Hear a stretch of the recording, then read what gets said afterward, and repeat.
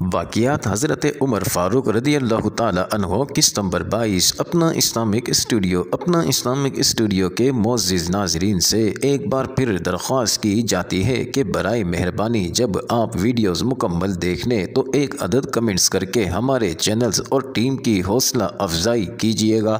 नाजरीन, दूसरे दिन अबू उबैदा दमिश से रवाना हो गए और उर्दन की हदूद में यरमूक पहुँच कर क़्याम किया। नाजरीन, अमर बिन अल आस भी यहीं आकर मिले ये मौका जंग की ज़रूरतों के लिए इस लिहाज से मुनासिब था कि अरब की सरहद बनस्बत और तमाम मकाम के यहाँ से करीब थी और पुष्ट पर अरब की सरहद तक खुला मैदान था। नाजरीन जिससे ये मौका हासिल था कि ज़रूरत पर जहाँ तक चाहें पीछे हटते जाएँ। हज़रत उमर रदी अल्लाह तहों ने सईद बिन आमिर के साथ जो फौज रवाना की थी वो अभी नहीं पहुँची। रूमियों की आमद और उनके के सामान का हाल सुन सुन कर मुसलमान घबराए जाते थे। अबू उबैदा ने हज़रत उमर रदी अल्लाह तहों के पास एक कासिद दौड़ाया और लिखा कि रूमी बहरों बर से उबल पड़े हैं और जोश का ये हाल है कि फ़ौज जिस राह से गुज़रती है, राहिब और खान का नशीन जिन्होंने कभी खलवत से कदम बाहर नहीं निकाला था, निकल निकल कर फ़ौज के साथ होते जाते हैं। ख़त पहुँचा तो हज़रत उमर रदी अल्लाह तहों उन्होंने महाजरीन और अनसार को जमा किया और ख़त पढ़कर सुनाया। नाजरीन, तमाम सहाबा बे इख्तियार रो पड़े और नहायत जोश के साथ पुकार कर कहा कि अमीरमिन खुदा के लिए हमको इजाज़त दीजिए कि हम अपने भाइयों पर जाकर निसार हो जाएँ। खुदा न खास्ता उनका बाल भी का हुआ तो फिर जीना बेसूद है। नाजरीन, महाजर अनसार का जोश बढ़ता जाता था। यहाँ तक कि अब्दुलरहमान बिन औफ ने कहा कि अमीरुल मोमिनीन तो ख़ुद सिपा सालार बन और हमको साथ लेकर चल, लेकिन और साहबा ने इस राय से इख्तलाफ किया और राय ये ठहरी कि और इमदादी फ़ौजें भेजी जाएँ। हज़रत उमर रदी अल्लाह तहों ने कासिद से दरियाफ़त किया कि दुश्मन कहाँ तक आ गए हैं? नाजरीन, उसने कहा कि यरमूक से तीन चार मंजिल का फासला रह गया है। हज़रत उमर रदी अल्लाह तहो नहायत गमजदा हुए और फरमाया कि अफसोस अब क्या हो सकता है? इतने अरसे में क्यों कर मदद पहुँच सकती है? अबू उबैदा के नाम नहायत पुरतासीर अल्फाज में एक ख़त लिखा और कासिद से कहा कि खुद एक एक सफ़ में जाकर ये ख़त सुनाना और ज़बानी कहरिन उस कासिद ने जाकर ये ख़त सुनाया। ये एक अजीब हुसन इतफाक़ हुआ कि जिस दिन कासिद अबू उबैदा के पास आया, उसी दिन आमिर भी हज़ार आदमी के साथ पहुँच गए। मुसलमानों को नहायत तकवीत हुई और उन्होंने नहायत इस्तकलाल के साथ लड़ाई की, तैयारियाँ शुरू की। नाजरीन, रूमी फ़ौजें यरमूक के मकाबिल दीरल जबल में उतरी। खालिद ने लड़ाई की तैयारियाँ शुरू की। माज बिन जबल को जो बड़े रुतबा के सहाबी थे, मैमना पर मुकर किया। नाजरीन, कबास बिन अलसहम को मैसरा और हाशिम बिन उतबा को पैदल फ़ौज की अफसरी दी। नाजरीन, अपने रुकाब की फ़ौज के चार हिस्से किए। एक को अपनी रुकाब में रखा, बाकी पर कैस बिन हबीरा, मेरा बिन मसरूक। नाजरीन, अमर बिन अलतुफ़ैल को मुकर किया। ये तीनों बहादुर तमाम अरब ने इंतखब थे और इस वजह से फारिसुल अरब कहलाते थे। नाजरीन, रूमी भी बड़े सरो सामान से निकले।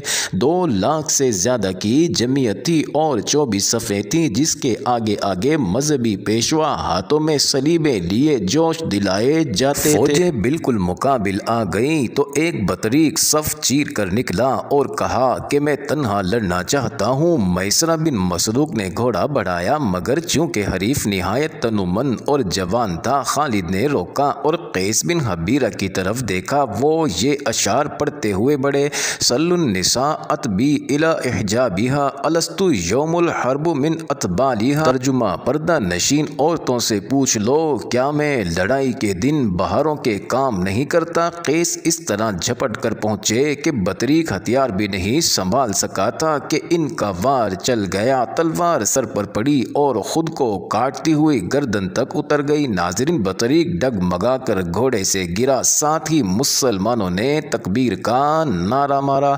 नाजरीन खालिद ने कहा, शगुन अच्छा हुआ और अब खुदा ने चाहा तो आगे फतह ईसाइयों ने खालिद के हम रुकाब अफसरों के मुकाबले में जुदा जुदा फौजें मुतन की थी, लेकिन सबने शिकस्त खाई। इस दिन यहीं तक नौबत पहुँच लड़ाई मुलतवी हो गई।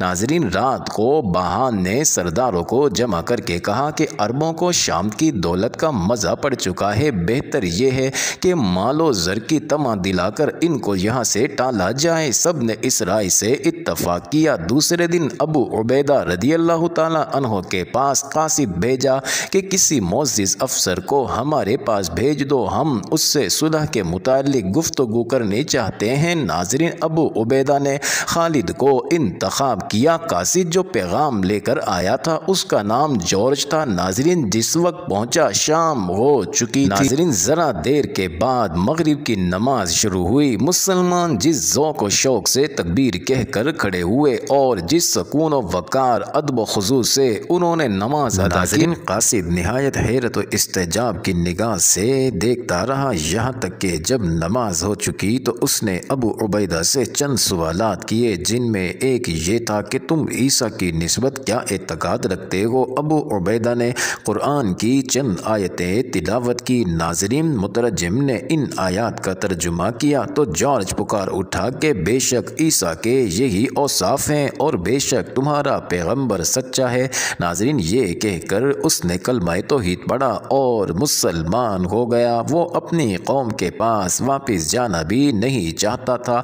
लेकिन हज़रत अबू उबैदा ने इस ख्याल से कि रूमियों को बदअहदी का गुमान ना हो मजबूर किया और कहा कि कल यहाँ से जो सफ़ीर जाएगा, उसके साथ चले आना। दूसरे दिन खालिद रदी अल्लाह तहो रूमियों के लश्कर गाह में गए। रूमियों ने अपनी शान शौकत दिखाने के लिए पहले से ये इंतज़ाम कर रखा था कि रास्ते के दोनों जानब सुवारों की सफ़े कायम की थी, जो सर से पाँव तक लोहे में गर खालिद इस बेपरवाही और तहकीर की निगाह से उन पर नज़र डालते जाते थे, जिस तरह शेर बकरियों के रेवड़ को चीरता चला जाता है, बहान के खेमे के पास पहुँचे तो उसने नहायत एहतराम के साथ इस्तकबाल किया और लाकर अपने बराबर बिठाया मुतरजम के ज़रिए से गुफ्तु शुरू हुई।